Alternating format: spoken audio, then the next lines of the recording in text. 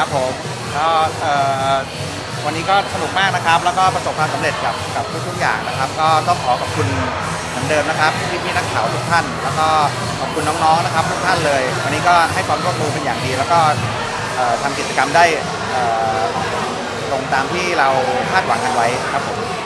ที่เราที่ได้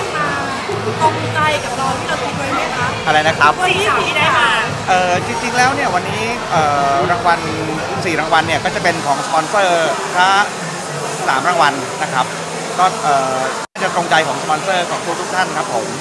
ครับ แล้วก็เอ่อน้องๆทั้ง4คนก็มีมีมีจุดเด่นในเรื่องของการที่เขาทำทำให้ตัวเขาได้รับรางวัลต่างๆ ในวันนี้ครับ ทีนี้ขออนุญาตถามน้องๆที่ได้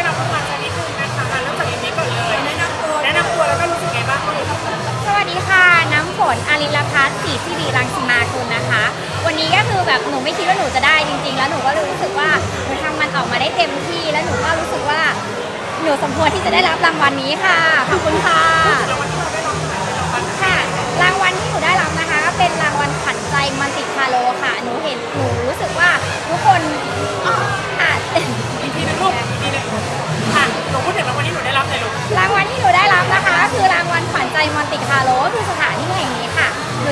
คนเห็นศักยภาพหนูค่ะ ก็เลยได้รับรางวัลนี้ค่ะ ขอบคุณนะคะ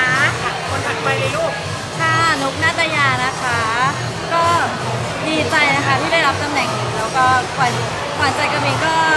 ดีใจที่ได้ที่ได้รับรางวัลนี้เหมือนกันค่ะ เพราะว่าก็ไม่คิดว่าตัวเองจะได้รางวัลนี้เพราะว่าก็ทำเต็มที่เหมือนกันค่ะ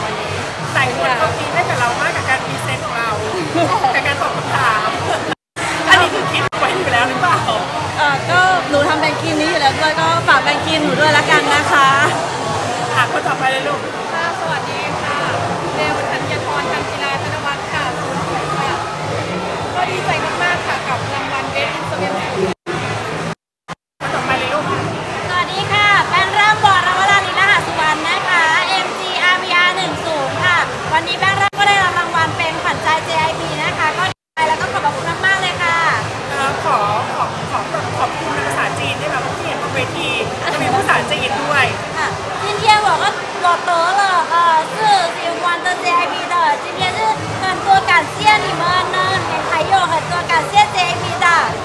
เสียเสียแปลว่ามันรู้สึกยังไงบ้างกับครั้งที่แล้วเนาะไม่ได้รางวัลมาครั้งนี้ก็ได้รางวัลอีก